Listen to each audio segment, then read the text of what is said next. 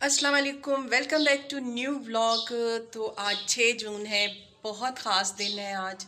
आज से तीन साल पहले हालात कुछ और थे, अब कुछ और हैं। तीन साल पहले जब छः जून आती थी तो सुबह सुबह हमारे यहाँ बहुत चहल पहल और बहुत खुशी का माहौल होता था। आज क्योंकि दुआ और मीरब के पापा की बर्थडे का दिन है।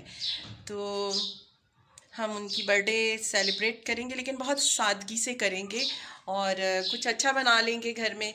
लेकिन मैं बच्चों से पूछती हूँ कि क्या उनको याद है? मेरा तो सुबह से ही दिल उदास है। अब देखती हूँ कि बच्चे क्या कहते हैं। उन्हें याद है? आज छः जून है। कौन सा ख़ास दिन है आज? मामा, आज पापा की बर्थडे है। तो चलो फिर डिसाइड करते हैं कि क्या करना है आज हमने। मुझे पहले से ही लग रहा था, क्योंकि दोनों खामोश खामोश सी थी, उदास उदास। तो चलिए पूछते हैं कि क्या करना है आज?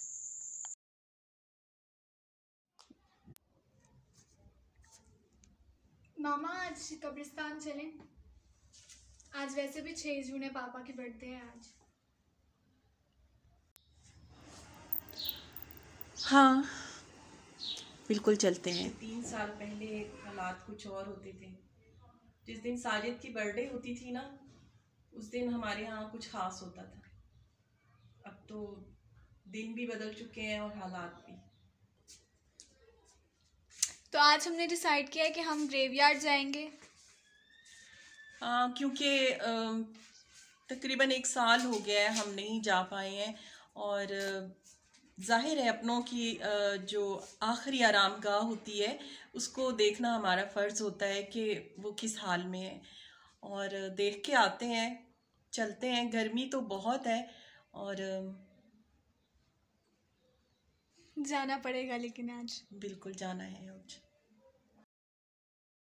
अब हम गोरा कब्रिस्तान जा रहे हैं। दुआ बहुत खुश है बार बार कह रही है कि हम अपने पापा से मिलने जा रहे हैं। तो ये है गोरा कब्रिस्तान साजिद की जहाँ पर आखिरी आराम गाह है।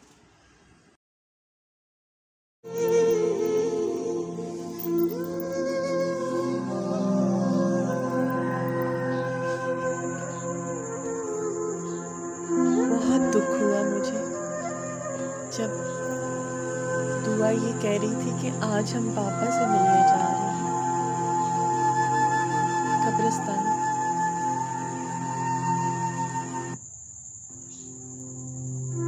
वो हमसे आगे आगे जा रही थी।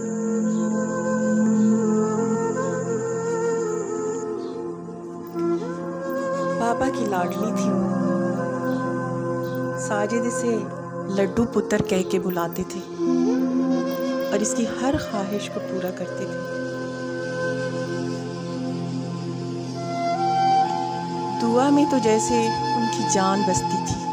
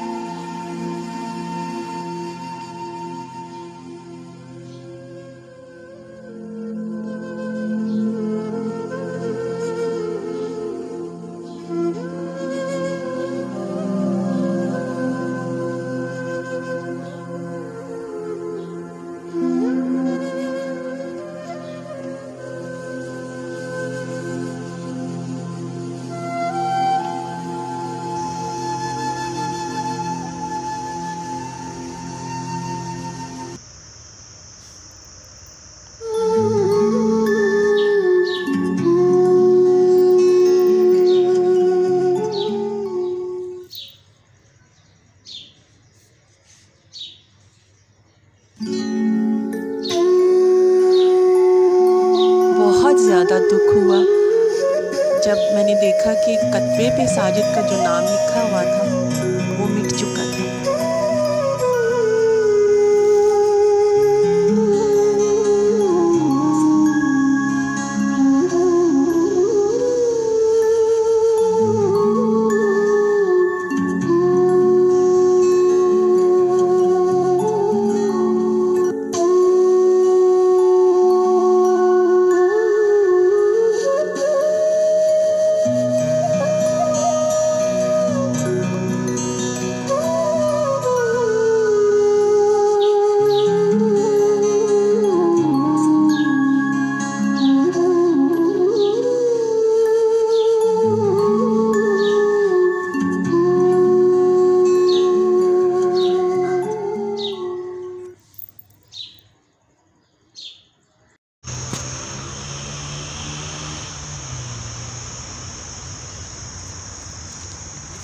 तो आज के व्लॉग में मैंने आपके साथ अपनी कुछ सैड मेमोरीज़ शेयर की हैं।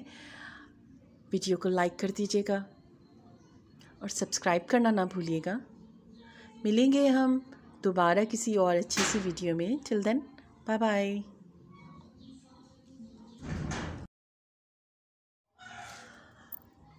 thanks for watching and bye for now. I miss you, Papa.